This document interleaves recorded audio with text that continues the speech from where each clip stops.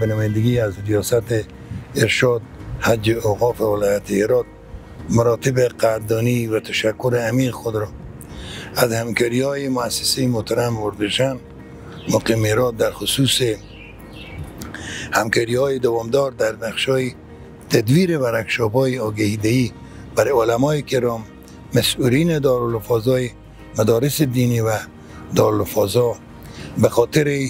تغییر مثبت اجتماع تدویر نمودن و همچنان به خاطر ایجاد مجمع حمایت از اجتماع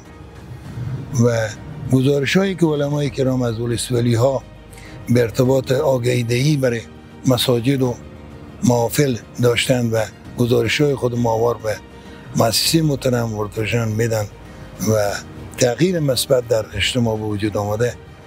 در این راستا کمال سپاس تشکر قدردانی از مؤسسه متنبه ورد داریم.